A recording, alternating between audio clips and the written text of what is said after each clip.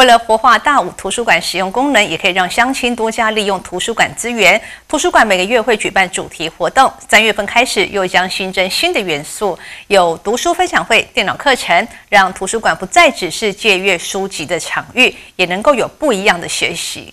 学生学习画画、制作杯垫，还有自制早餐，以及长者学习折纸等照片。课程内容相当丰富。这是大武乡立图书馆为了活化图书馆的空间环境，除了重新规划书籍摆设之外，也办理多场活动，希望增加乡亲使用图书馆的次数与机会。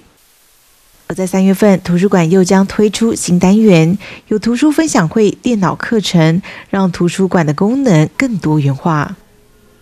大武乡立图书馆虽然外观造型老旧，图书资源也有部分需要汰换，但图书馆积极转型，让图书馆不再只是借阅书籍的场域，而能够成为孩子发挥的天地与成人增能学习的空间。就讲解大武乡报道。